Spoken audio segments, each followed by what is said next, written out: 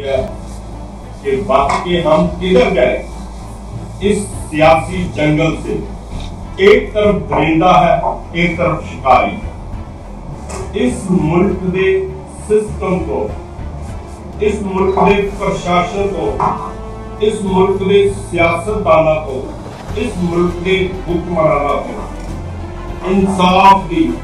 केवल इंसाफ दी भीख मंगते मंगते पाँच साल लागे। ਇਹਨਾਂ 5 ਸਾਲਾਂ ਵਿੱਚ ਮੈਂ ਭੀਖ ਮੰਗਦੇ ਮੰਗਦੇ ਭਿਖਾਰੀ ਦੇ ਅਸਤਿਤਵ ਤੇ ਦਾ ਪਹੁੰਚ ਗਿਆ ਪਰ ਇਨਸਾਫ ਨਹੀਂ ਜਦੋਂ ਉਹਨਾਂ ਨੇ ਦੋ ਜਿਹੜੀ ਸ਼ਿਕਾਇਤਾਂ ਦੇ ਖਿਲਾਫ ਦਿੱਤੀਆਂ ਕਦੇ ਵੀ ਆਪ ਨਹੀਂ ਸੋਚ ਕੇ ਕਰਨਾ ਅਜੋ ਉਹਨਾਂ ਨੇ ਕੀ ਪਾਇਆ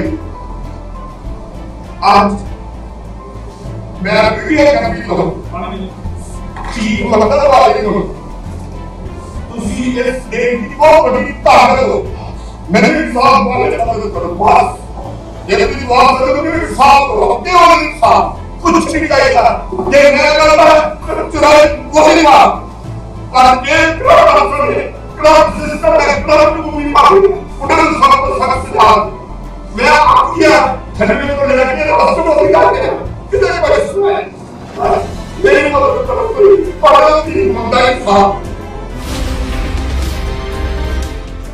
ਜਿਹੜੀ ਜਗ੍ਹਾ 1994 ਦੀ ਸਾਡੀ ਖਰੀਦ ਹੋਈ ਹੈ 2010 ਤੱਕ ਸਾਨੂੰ ਕੋਈ ਪ੍ਰੋਬਲਮ ਨਹੀਂ ਹੈ 2014 ਚ ਪਟਵਾਰੀ ਆਇਆ ਪਟਵਾਰੀ ਨੇ ਸਾਰਾ ਰਿਕਾਰਡ ਬਦਲਿਆ ਸਾਡੇ ਜ਼ਿਲ੍ਹੇ ਵਿੱਚ ਅਸੀਂ 20 ਸਾਲ ਰਹਿ ਗਏ ਹੈ ਉਹ ਜਗ੍ਹਾ ਪਟਵਾਰੀ ਨੇ ਉਹਨਾਂ ਦੀ ਨਾਮ ਦੀ ਜ਼ਿੰਦਗੀ ਉਹਨਾਂ ਦੀ ਹੋਊਗੀ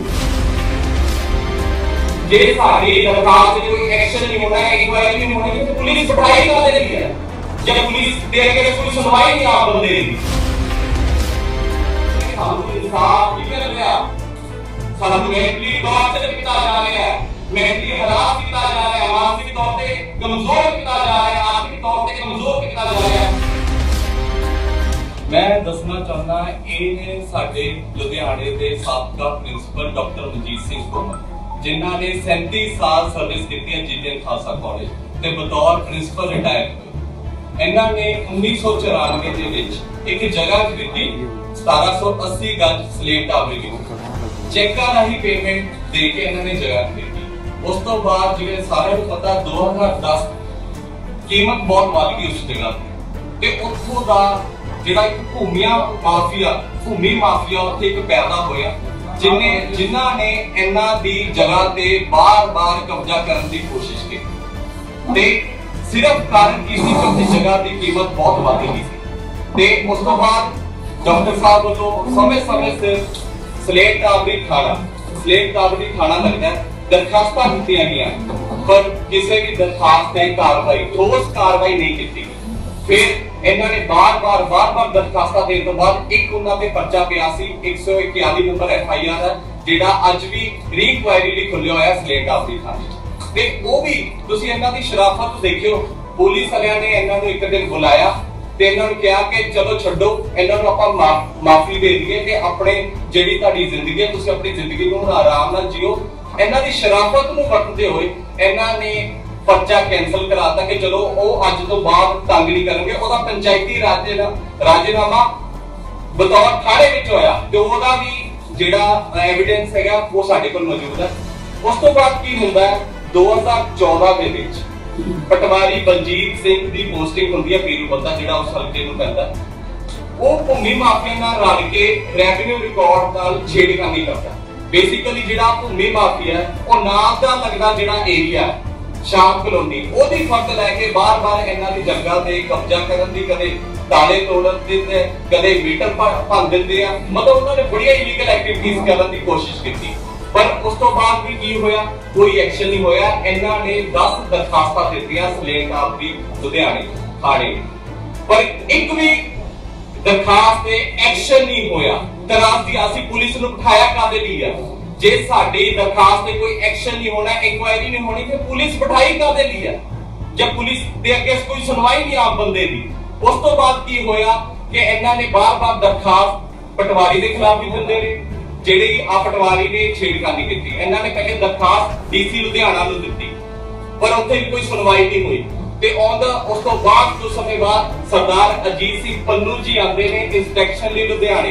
ਇਹਨਾਂ ਨੇ ਉਹਨਾਂ ਨੂੰ ਮਿਲ ਕੇ ਵੀ ਦਰਖਾਸਤ ਦਿੱਤੀ ਕਿ ਆਹ ਪਟਵਾਰੀ ਨੇ ਸਾਡੇ ਖਿਲਾਫ ਗਲਤ ਆਹ ਰੈਵਨਿਊ ਛੇੜਖਾਨੀ ਕੀਤੀ ਜਿਹਦੇ ਕਰਕੇ ਸਾਡਾ ਬਹੁਤ ਨੁਕਸਾਨ ਹੋ ਰਿਹਾ। ਤੇ ਅਸੀਂ ਧੰਨਵਾਦ ਕਰਦੇ ਹਾਂ ਸਰਦਾਰ ਅਜੀਤ ਸਿੰਘ ਪੰਨੂ ਜੀ ਦਾ, ਜਿਨ੍ਹਾਂ ਨੇ ਨਿਰਪੱਖਤਾ ਨਾਲ ਇੱਕ ਜਾਂਚ ਕਰਾਈ ਆਪਣੇ ਹੇਠ, ਤੇ ਉਹਦੇ ਵਿੱਚ ਸਾਬਿਤ ਹੋਇਆ ਕਿ ਜਿਹੜਾ ਪਟਵਾਰੀ ਬਲਜੀਤ ਸਿੰਘ ਹੈ, ਇਹ ਦੋਸ਼ੀ ਹੈ, ਇਹਨੂੰ ਚਾਰਜ ਸ਼ੀਟ ਕੀਤਾ ਗਿਆ ਤੇ ਕਾਰਨ ਦੱਸੋ ਨੋਟਿਸ ਵੀ ਭੇਜਿਆ ਗਿਆ। ਪਰ ਅਨਫੋਰਚੂਨੇਟਲੀ ਜਦੋਂ ਸਾਡੇ ਡੀਸੀ ਸਾਹਿਬ ਕੋਲ ਉਹ ਰਿਪੋਰਟ ਆਈ ਉਹਨਾਂ ਨੇ ਫਿਰ ਉਸ ਚੀਜ਼ ਨੂੰ ਨਜ਼ਰ ਅੰਦਾਜ਼ ਕਰਤਾ। ਨਜ਼ਰ ਅੰਦਾਜ਼ ਕਰਤਾ, ਫਿਰ ਇੱਕ ਰੀ ਇਨਕੁਆਇਰੀ ਬਿਠਾਈ ਗਈ। ਰੀ ਇਨਕੁਆਇਰੀ ਕਿਉਂ ਬਿਠਾਈ ਗਈ ਕਿ ਸਾਨੂੰ ਅੱਜ ਤੱਕ ਨਹੀਂ ਇਸ ਚੀਜ਼ ਦਾ ਜਵਾਬ ਮਿਲਿਆ ਕਿ ਜਦ ਇੱਕ ਕਮਿਸ਼ਨਰ ਸਾਹਿਬ ਨੇ ਇੱਕ ਰਿਪੋਰਟ ਭੇਜਤੀ ਕਿ ਇਹ ਜਿਹੜਾ ਪਟਵਾਰੀ ਹੈ ਦੋਸ਼ੀ ਹੈ ਫਿਰ ਰੀ ਇਨਕੁਆਇਰੀ ਬਿਠਾਈ ਗਈ ਤੇ ਉਹਦੇ ਫਿਰ ਖਜਤਵਾਰ ਉਹ ਵੀ ਸ਼ੁਰੂ ਹੋ ਗਿਆ ਫਿਰ ਉਹ ਵੀ ਮੈਂਟਲੀ ਹਰਾਸਮੈਂਟ ਮੈਂਟਲੀ ਟਾਰਚਰ ਵਾਲਾ ਪ੍ਰੋਸੀਜਰ ਉਹ ਵੀ ਸ਼ੁਰੂ ਹੋ ਗਿਆ। ਫਿਰ ਇਹਨਾਂ ਨੇ ਦਰਖਾਸਤਾਂ ਫਿਰ ਐਸਡੀਐਮ ਇਸ ਕੋ ਰਿਪੋਰਟ ਲੱਗੀ ਇਨਕੁਆਇਰੀ ਲੱਗੀ ਦੁਬਾਰਾ ਫਿਰ ਉਹਨਾਂ ਦੇ ਚੱਕਰ ਲੱਗਣੇ ਸ਼ੁਰੂ ਹੋ ਗਏ। 6 ਸਾਲ ਇਸ ਚੀਜ਼ ਨੂੰ ਰੋਂਦੇ ਹੋ ਕਿ ਅੱਜ ਤੱਕ ਇਨਸਾਫ ਨਹੀਂ ਮਿਲ ਰਿਹਾ। ਤੇ ਫਿਰ ਇਹਨਾਂ ਨੇ ਇਨਕੁਆਇਰੀ ਦੀ ਆਪਣੀਆਂ ਰਿਪੋਰਟਾਂ ਦਿੱਤੀਆਂ। ਬਕਾਇਦਾ ਜਿਹੜਾ ਪਟਵਾਰੀ ਦੇ ਖਿਲਾਫ ਰਿਪੋਰਟਾਂ ਆਈਆਂ ਹੋਈਆਂ, ਤਿੰਨ ਆਈਪੀਐਸ ਆਫੀਸਰ ਦੀਆਂ ਰਿਪੋਰਟਾਂ, ਜਿਹਦੇ ਵਿੱਚ ਕਲੀਅਰਲੀ ਉਹਨਾਂ ਨੇ ਪੁਆਇੰਟ ਆਊਟ ਕੀਤਾ ਕਿ ਭੂਮੀ ਮਾਫੀਆ ਨੇ ਪਟਵਾਰੀ ਬਲਜੀਤ ਸਿੰਘ ਨਾਲ ਮਿਲ ਕੇ ਡਾਕਟਰ ਮਨਜੀਤ ਸਿੰਘ ਨਾਲ ਫਰਾਡ ਕੀਤਾ ਹੈ ਕਿ ਆਈਪੀਐਸ ਡਾਕਟਰ ਸੰਦੀਪ ਗਰਗ ਦੀ ਰਿਪੋਰਟ ਬੋਲ ਰਹੀ ਹੈ।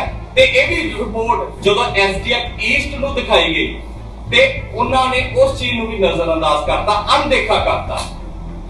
ਫਿਰ ਇਹ ਇੱਕ ਕਾਲਾ ਧੱਬਾ ਸਾਡੇ ਸਿਸਟਮ ਤੇ, ਫਿਰ ਇਹਨੂੰ ਰੋਲਿਆ ਗਿਆ ਤੇ ਅਨਫੋਰਚੂਨੇਟਲੀ ਕਾਲਾ ਦਿਨ ਕਦੋਂ ਆਇਆ? ਜਦੋਂ ਉਸ ਐਸਡੀਐਮ ਈਸਟ ਨੇ ਪਟਵਾਰੀ ਨੂੰ ਕਲੀਨ ਚਿਟ ਦੇ ਦਿੱਤੀ ਤੇ ਵਿਦਿਨ 15 ਡੇਜ਼ ਡੀਸੀ ਸਾਹਿਬ ਨੇ ਉਸ ਆਰਡਰ ਤੇ ਸਾਈਨ ਕਰਤੇ ਕਿ ਹਾਂ, ਪਟਵਾਰੀ ਬੇਕਸੂਰ ਇੱਕ ਕਾਲਾ ਦਿਨ ਸੀ ਸਾਡੇ ਸਿਸਟਮ ਦਾ, ਜਦੋਂ ਇੱਕ ਦੋਸ਼ੀ ਨੂੰ ਬਚਾਇਆ ਗਿਆ ਸਾਡੇ ਅੱਖਾਂ ਦੇ ਸਾਹਮਣੇ। ਫਿਰ ਕੋਈ ਦੁਬਾਰਾ ਪ੍ਰੋਸੀਜਰ ਸ਼ੁਰੂ ਹੋ ਗਿਆ ਇਨਕੁਆਇਰੀ ਤੇ ਇਨਕੁਆਇਰੀ ਫਿਰ ਅਸੀਂ ਦਰਖਾਸਤਾਂ ਦਿੱਤੀਆਂ।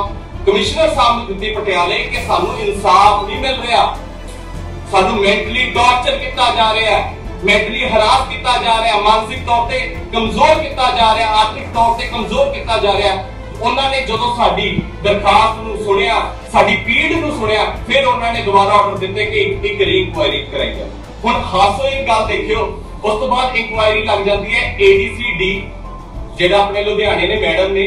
ਤੇ ਉਹ ਉਹ ਜਦੋਂ 6 ਮਹੀਨੇ ਇਨਕੁਆਇਰੀ ਕਰਦੇ ਆ, ਇਹਨਾਂ ਨੂੰ ਕਹਿੰਦੇ ਕਿ ਤੁਸੀਂ ਆਪਣੇ ਸਾਰੇ ਸਬੂਤ ਪੇਸ਼ ਕਰੋ, ਆਪਣੇ ਸਾਰੇ ਐਵੀਡੈਂਸ ਪੇਸ਼ ਕਰੋ। ਇਹ ਸਾਰੇ 6 ਮਹੀਨੇ ਇਹਨਾਂ ਨੂੰ ਦਫ਼ਤਰ ਸਵੇਰੇ 11 ਵਜੇ ਦਾ ਟਾਈਮ ਦੇ ਕੇ 1 ਵਜੇ ਤੱਕ ਬਿਠਾਇਆ ਜਾਂਦਾ ਸੀ ਪਹਿਲੇ। ਫਿਰ ਉਹਨਾਂ ਨੂੰ ਜਦੋਂ ਅੰਦਰ ਵਾੜਿਆ ਗਿਆ, ਤੇ 6 ਮਹੀਨੇ ਜਦੋਂ ਇਨਕੁਆਇਰੀ ਚੱਲੀ ਤੇ ਐਂਡ ਤੇ what she is giving the report that I am not the competent authority 6 ਮਹੀਨੇ ਰੋਲਣ ਤੋਂ ਬਾਅਦ ADCD ਇਹ ਰਿਪੋਰਟ ਦੇ ਰਿਹਾ ਕਿ I am not the competent authority ਮੈਂ ਇਹਦੀ ਇਨਕੁਆਇਰੀ ਨਹੀਂ ਕਰ ਸਕਦੀ।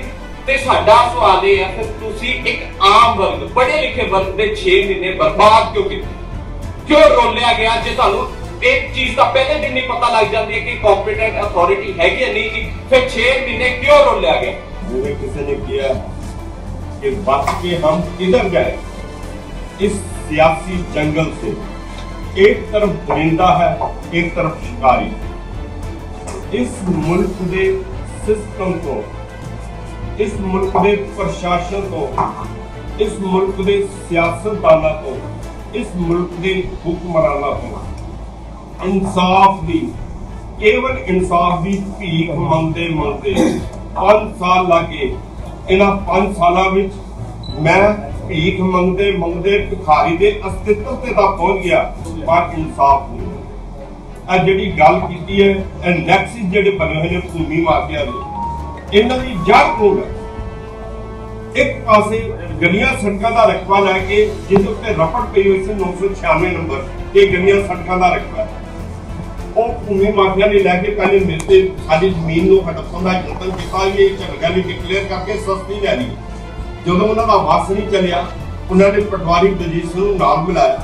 ਪਟਵਾਰੀ ਬਲਜੀਤ ਸਿੰਘ ਨੇ ਕੀ ਕੀਤਾ? ਸਾਜ਼ਿਸ਼ ਦੀ ਰੈਵਨਿਊ ਰਿਕਾਰਡ ਵਿੱਚ ਫੇਰ ਕਰਕੇ ਰਫੜ ਨੰਬਰ 996 ਜਿਹੜੀ ਪਈ ਹੋਈ ਸੀ, ਜਿਸ ਦੀ ਨੇ ਗਲੀਆਂ ਸੜਕਾਂ ਦਾ ਰਕਬਾ ਸੀ, ਉਹਨੂੰ ਡਿਲੀਟ ਕੀਤਾ। ਡਿਲੀਟ ਕਰਕੇ ਇੱਕ ਨਵੀਂ ਰਫੜ 247 ਨੰਬਰ ਪਾਤੀ ਕਿ ਇਹ ਗਲੀਆਂ ਸੜਕਾਂ ਤੋਂ ਮੁਕਤ ਹੈ ਤੇ ਇੱਕ ਨਵੀਂ ਫਰਜ਼ ਜਾਰੀ ਕਰਤੀ ਗੱਲ ਇੱਥੇ ਨਹੀਂ ਮੁੱਕੀ। ਪਰ ਪਟਵਾਰੀ ਨੇ ਕੀਤਾ ਕਿ? ਕੋਰਟ ਜਾ ਕੇ ਸਾਡੇ ਹੱਕੀ ਸਟੇ ਹੋਏ ਹੋਏ ਨੇ ਸਾਰੇ। ਸਾਨੂੰ ਇਹ ਕੋਰਟ ਦਾ ਵੀ, ਜ਼ਿਲ੍ਹਾ ਜੱਜ ਦੀ ਕੋਰਟ ਦਾ ਵੀ ਪਟਵਾਰੀ ਨੇ ਜਾ ਕੇ ਆਪਣੇ ਗਲਤ ਰਿਕਾਰਡ ਬਣਾਏ ਹੋਏ ਰਿਕਾਰਡ ਨੂੰ ਪ੍ਰਮਾਣਿਕ ਸਿੱਧ ਕੀਤਾ ਕੋਰਟੇ ਜੱਜ ਸਾਹਮਣੇ ਸਾ ਕੇ ਤੇ ਜਿਹੜੀ ਸਾਡੀ 1780 ਵਰਗਾ ਦੀ ਜਗ੍ਹਾ ਸੀ, ਪਟਵਾਰੀ ਕਹਿੰਦਾ ਇਹ ਜਗ੍ਹਾ ਇਹਨਾਂ ਦੀ ਹੈ। ਉਹਨਾਂ ਦੇ ਹੱਕੀ ਡਿਗਰੀ ਕਰਵਾਤੀ ਪਟਵਾਰੀ ਬਲਜੀਤ ਸਿੰਘ। ਜਿਹੜੀ ਜਗ੍ਹਾ 1994 ਦੀ ਸਾਡੀ ਖਰੀਦੀ ਹੋਈ ਹੈ 2010 ਤੱਕ ਸਾਨੂੰ ਕੋਈ ਪ੍ਰੋਬਲਮ ਨਹੀਂ ਆਈ। 2014 ਚ ਪਟਵਾਰੀ ਆਇਆ, ਪਟਵਾਰੀ ਨੇ ਸਾਰਾ ਰਿਕਾਰਡ ਬਦਲਿਆ। ਸਾਡੇ ਜਿਹਦੇ ਚ ਅਸੀਂ 20 ਸਾਲ ਰਹਿੰਦੇ ਰਹੇ ਆ, ਉਹ ਜਗ੍ਹਾ ਪਟਵਾਰੀ ਨੇ ਉਹਨਾਂ ਦੀ ਕਰਤੀ ਡਿਗਰੀ ਉਹਨਾਂ ਦੀ ਹੋ ਪਟਵਾਰੀ ਬਲਜੀਤ ਸਿੰਘ 2014 ਜੁਲਾਈ ਚ ਉਹਨਾਂ ਨੇ ਦੇ ਰਿਹਾ ਰਿਪੋਰਟ ਕਿ ਤੁਹਾਡਾ ਰਕਬਾ ਗਰੀਆਂ ਸਰਕਾਰ ਜੁਲਾਈ 23 ਜੁਲਾਈ 2014 ਨੂੰ ਰਿਪੋਰਟ ਦੇ ਰਿਹਾ ਹੈ। ਪਰ 2014 ਦੇ ਵਿੱਚ ਹੀ, ਨਵੰਬਰ ਦੇ ਵਿੱਚ ਆ ਕੇ ਉਹਨਾਂ ਨਾਲ ਗਿਣੀ ਮਿੱਤੀ ਸਾਜ਼ਿਸ਼ ਕਰਕੇ ਉਹਨਾਂ ਦੇ ਹੱਕੇ ਰਿਪੋਰਟ ਦੇ ਰਿਹਾ ਕਿ ਗਲੀਆਂ ਸੜਕਾਂ ਦਾ ਰਕਬਾ ਨਹੀਂ ਮੈਂ ਮੌਕੇ ਤੇ ਗਿਆ, ਜਿਹੜੀ 1780 ਗਜ ਦੀ ਸਾਡੀ ਜਗ੍ਹਾ ਜਿੱਤੀ, ਚਾਰ ਦੀਵਾਰੀ ਹੋਈ ਕਮਰੇ, ਉਹ ਜਗ੍ਹਾ ਇਹਨਾਂ ਦੀ। ਉਹ ਕਰਕੇ ਤੇ ਉੱਥੇ ਪੇਸ਼ ਕਰ। ਜਦੋਂ ਮੈਂ ਪਟਵਾਰੀ ਕੋਲ ਧੱਕੇ ਲਾਏ ਤੇ ਪਟਵਾਰੀ ਪਤਾ ਕਿਉਂ ਕੀ ਕਹਿੰਦਾ? ਕਹਿੰਦਾ, ਆਪਣੀ ਸਾਰੇ ਪਟਵਾਰੀ ਦੇ ਹੱਥ ਨਹੀਂ ਦੇਖੇ ਜੇ ਅਸੀਂ ਆਪਣੀ ਆਈ ਜਾ ਜੀ ਨਾ, ਤੁਹਾਡੀ ਜਗ੍ਹਾ ਫਿਰ ਦਰਿਆਵਾਂ ਚ ਹੀ ਇਹ ਹਾਲ ਹੈ, ਇਸ ਸਿਸਟਮ ਦਾ। ਇਨਸਾਨ ਦੀ ਜਿਸ ਮੁਕਾਬਲੇ 20 ਸਾਲ ਰਹਿੰਦੇ ਰਹੇ ਹੋਏ ਉਹ ਜਗ੍ਹਾ ਤੋਂ ਉਹਨਾਂ ਦਰਸਾ ਬਿਨਾਂ ਕਿਸੇ ਸਬੂਤ ਦੇ, ਬਿਨਾਂ ਕਿਸੇ ਕਾਰਨ ਔਰ ਸੀਐਮ ਤੱਕ ਸੈਕਟਰੀ ਤੱਕ ਤੁਸੀਂ ਹੈਰਾਨ ਹੋਗੇ ਤਿੰਨ ਆਈਪੀਐਸ ਅਫਸਰਾਂ ਦੀ ਇਨਕੁਆਰੀ ਹੋਈ ਹੈ ਇਹਦੇ ਖਿਲਾਫ। ਇਸੇ ਇਸੇ ਕੇਸ ਦੇ ਖਿਲਾਫ। ਇਹਨਾਂ ਦੀਆਂ ਰਿਪੋਰਟਾਂ ਮੇਰੇ ਕੋਲ ਹੈ। ਹੁਣ ਤੁਸੀਂ ਇਹ ਹੈਰਾਨ ਹੋਗੇ ਵੀ ਇੱਕ ਆਈਪੀਐਸ ਦੀ ਰਿਪੋਰਟ ਤੇ ਐਕਸ਼ਨ ਕਿਉਂ ਨਹੀਂ? ਹਲੇ ਇੱਕ ਲਾਈਨ ਦਿਖਾਤੀ ਕੋਡੇ ਤੇ ਉਹ ਮੈਂ ਫਿਰ ਦੁਬਾਰਾ ਗਿਆ ਵੀ ਐਕਸ਼ਨ ਲੋਕ ਤੁਹਾਨੂੰ ਕਿਤੇ ਸੂਟ ਨੇ ਕਿਹਾ ਕਿ ਤੁਸੀਂ ਇਹਨਾਂ ਤੇ ਐਕਸ਼ਨ ਨਹੀਂ ਲੈਣ ਕੋਈ ਕੋਈ ਨਵੀਂ ਮਾਰ ਕਰਦੀ ਉਹਦੇ ਤੇ ਫਿਰ ਰਿਪੋਰਟ ਸਾਡੇ ਅੱਗੇ ਜਾਈ ਜਦੋਂ ਉਹਨੂੰ ਐਕਸ਼ਨ ਨਹੀਂ ਲੈ ਕੇ ਡੀਜੀਪੀ ਸਾਹਿਬ ਕੋਲ ਗਿਆ ਸੀਪੀ ਕੋਲ ਗਿਆ ਨਵੀਂ ਇਨਕੁਆਰੀ ਮਾਰ ਤੋਂ ਤਿੰਨ ਰਿਪੋਰਟਾਂ ਹੋ ਗਿਆ ਉਸ ਤੋਂ ਬਾਅਦ ਚੌਥੀ ਇਨਕੁਆਰੀ ਰਤਨ ਸਿੰਘ ਬਰਾੜ ਕੋਲ ਹੋ ਗਈ ਮੈਂ ਕਿਹਾ ਮੈਂ ਨਹੀਂ ਜਾ ਤੁਸੀਂ ਕਦੋਂ ਤੱਕ ਇਨਕੁਆਰੀਆਂ ਕਰੋਗੇ ਆਈਪੀਐਸ ਤੋਂ ਬਾਅਦ ਪੀਪੀਐਸ ਕਰੂਗਾ ਮੇਰੀ ਇਨਕੁਆਰੀ ਉਸ ਤੋਂ ਬਾਅਦ ਫਿਰ ਰਤਨ ਸਿੰਘ ਬਰਾੜ ਦਾ ਚੱਕੀ ਤੇ ਇੱਕ ਸ਼ਰਮਾ ਜੀ ਆਏ ਸੀ ਉਹ ਵੀ ਪਿੰਡਾਂ ਉਧਰ ਪਈ ਮੈਂ ਫਿਰ ਸੀਪੀ ਸਾਹਿਬ ਕੋਲ ਕਲਪਿਆ ਜਾ ਕੇ ਮੈਂ ਕਿਹਾ ਜੀ ਮੈਨੂੰ ਅੰਦਰ ਦੇ ਦਿਓ ਕਿੰਨੀਆਂ ਕੋਈ ਇਨਕੁਆਰੀਆਂ ਕਰਨੀਆਂ, ਉਦੋਂ ਤੱਕ ਇਨਕੁਆਰੀਆਂ ਹੋਣੀਆਂ ਜਦੋਂ ਤੱਕ ਕੋਈ ਰਿਪੋਰਟ ਮੇਰੇ ਖਿਲਾਫ ਨਹੀਂ ਆ ਜਾਂਦੀ। ਫਿਰ 12 ਮੇਰੇ ਕੋਲ 12 14 ਦੇ ਨੰਬਰ ਨਹੀਂ ਲਾਉਂਦੇ ਥਾਣੇ ਵਾਲੇ। 12 14 ਬ੍ਰੇਕਾਂ ਦੇ ਨੰਬਰ ਨੇ ਮੇਰੇ ਕੋਲ। ਇੱਕ ਦੀ ਵੀ ਕੋਈ ਰਿਪੋਰਟ ਨਹੀਂ, ਕੋਈ ਬਿਆਨ ਤੱਕ ਨਹੀਂ, ਕੋਈ ਕੁਝ ਨਹੀਂ, ਚੱਕ ਕੇ ਡਸਟਬਿਨ ਵਿੱਚ ਕੋਈ ਕੁਝ ਨਹੀਂ।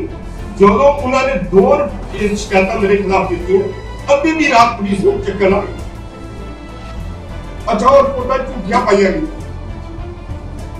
ਅੱਜ ਮੈਂ ਵੀਡੀਓ ਕਾਪੀ ਤੋਂ ਠੀਕ ਮੰਗਦਾ ਤੁਹਾਡੇ ਕੋਲ ਤੁਸੀਂ ਇਸ ਦੇਸ਼ ਦੀ ਬਹੁਤ ਵੱਡੀ ਤਾਕਤ ਹੋ ਮੈਨੂੰ ਇਨਸਾਫ ਦਿਵਾਲੇ ਮਦਦ ਕਰੋ ਬਸ ਜੇ ਤੁਸੀਂ ਦਵਾ ਸਕਦੇ ਹੋ ਮੈਨੂੰ ਇਨਸਾਫ ਦਿਓ ਕੇਵਲ ਇਨਸਾਫ ਕੁਛ ਨਹੀਂ ਚਾਹੀਦਾ ਜੇ ਮੈਂ ਗਲਤ ਹੈ ਫਿਰ ਚੁਰਾਈ ਗੋਲੀ ਮਾਰ ਪਰ ਜੇ ਕਰਪਟ ਅਫਸਰ ਨੇ ਕਰਪਟ ਸਿਸਟਮ ਹੈ ਕਰਪਟ ਭੂਮੀ ਮਾਫੀਆ ਉਹਨਾਂ ਨੂੰ ਸਖਤ ਤੋਂ ਸਖਤ ਸਜ਼ਾ ਦਿਓ ਮੈਂ ਆਖਿਆ 96 ਤੋਂ ਲੈ ਕੇ ਰਾਸ਼ਟਰਪਤੀ ਤੱਕ ਗਿਆ ਕਿਤੇ ਕੋਈ ਸੁਣਵਾਈ ਨਹੀਂ। ਬਸ ਮੇਰੀ ਮਦਦ ਕਰੋ ਕੋਈ ਤੁਹਾਡਾ ਵੀ ਮੰਗਦਾ ਇਨਸਾਫ